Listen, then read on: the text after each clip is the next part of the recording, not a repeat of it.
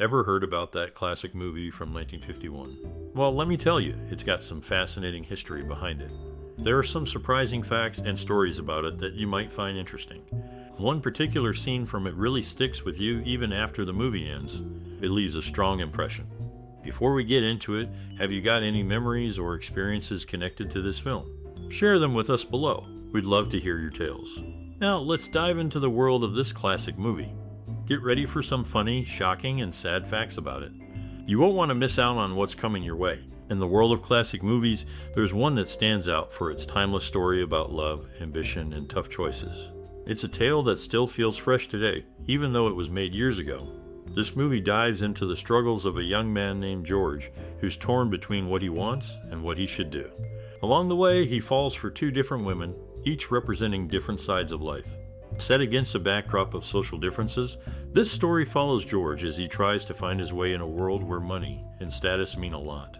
When he meets Alice, everything gets complicated. They start a passionate relationship, but George's heart is drawn to Angela, who's like a vision of beauty and wealth. As George wrestles with his feelings, the movie explores big ideas like moving up in society, longing, and the fallout of choices. The actors, especially Winters and Clift, bring real depth to their characters, making you feel every emotion they go through. Director George Stevens took inspiration from a book called An American Tragedy to create this moving story about human nature and chasing after dreams. With its rich story and powerful themes, this movie keeps audiences hooked no matter when they watch it. Even though time has passed, this film still has a strong impact, drawing people in with its story of love, ambition, and the cost of success. A Place in the Sun, released in 1951, features Hank Mann, who later became a makeup artist for Warner Brothers before running a malt shop in Sierra Madre. He then spent his remaining years as a resident apartment manager in Los Feliz with his wife, known in France as Bill Bilbaki or Bilbake. Elizabeth Taylor, a prominent figure in the film, appeared on Larry King Live in 1985 to dispute rumors about her health. She refuted claims of being diagnosed with Alzheimer's disease and being close to death. In the movie A Place in the Sun, some people did really important stuff in different areas. Casey Rogers, for example, started an association called Powder Puffs Unlimited Riders and Racers, which helped women get into motorsports. Later on, she also played a part in getting women into the Super Bowl of motocross. Paul Frees was known for his great voice work. He started out in radio, where he could imitate famous people like Orson Welles. He did a lot of voices for cartoons, bringing characters like Fox and Ludwig von Drake to life. Anne Revere was famous for her acting. She won an Oscar, and her Tony Award was sold for a lot of money. All these people did things that still matter today in entertainment and sports.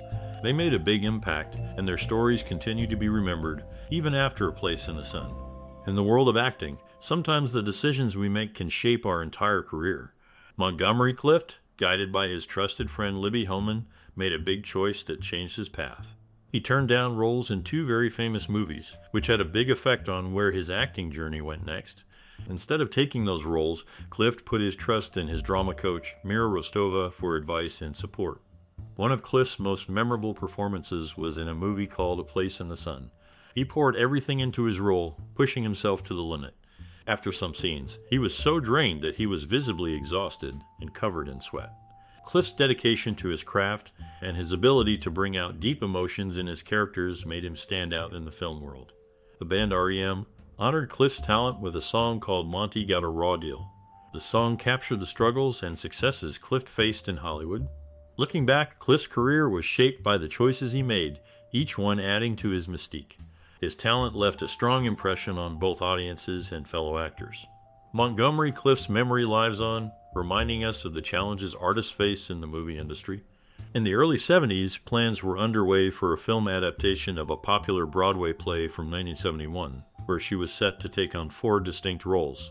These characters included three sisters and their elderly, irritable Bronx Irish mother. Unfortunately, the project never came to fruition.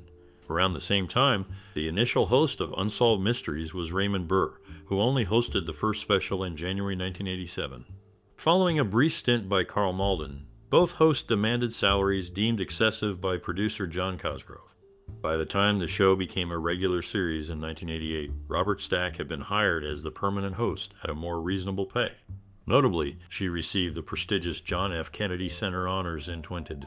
A testament to her contributions to the entertainment industry. Following its release in 1951, the film faced various challenges in the entertainment industry. Keefe Brasselle, despite his partnership with CBS executive James T. Aubrey, struggled as a producer, with shows like The Baileys of Balboa, The Cara Williams Show, and The Reporter failing to garner significant ratings. Meanwhile, Raymond Burr's official biography presented a fabricated narrative of his personal life, obscuring his homosexuality behind fictional marriages and a child. Notably, Brasselle is the grandfather of Haley Sanchez, born in 1998. Such complexities behind the scenes offer intriguing insights into the realities of Hollywood during that era. In the portrayal of the Eastman family, hints of inspiration from Carl Jantzen, a prominent figure in women's swimwear, emerge. Elizabeth Taylor, who played a significant role in the film, was the mother of Christopher Edward Wilding, and Michael Wilding Jr. Montgomery Clift, another central figure, had a falling out with Frank Sinatra after Sinatra disapproved of Clift's advances towards another male guest. Despite these off screen incidents, the film stands as a notable piece of cinematic history. Raymond Burr, known for his role in A Place in the Sun, earned recognition with a star on the Hollywood Walk of Fame and 16656 Hollywood BLVD. Elizabeth Taylor, a prominent figure in the film, possessed a stunning collection of jewelry, including the 33 carat Krupp diamond, the Duchess of Windsor diamond brooch, the Grand Duchess of Russia emeralds, the La Peregrina pearl, and the renowned pear shaped 69 carat Burton Cartier diamond given to her in 1969 and later renamed the Burton Taylor diamond. In an interesting twist, despite playing the mother on Giant, Elizabeth Taylor was merely two years older than Fran Bennett, four years senior to Dennis Hopper, and only nine months younger than Carroll Baker. These unique aspects shed light on the notable individuals associated with the 1951 movie, adding depth to their profiles and intertwining their stories within the cinematic narrative. Discovered by a talent scout, Casey Rogers swiftly entered the limelight after auditioning at Paramount. Within a week, she secured a leading role in a movie.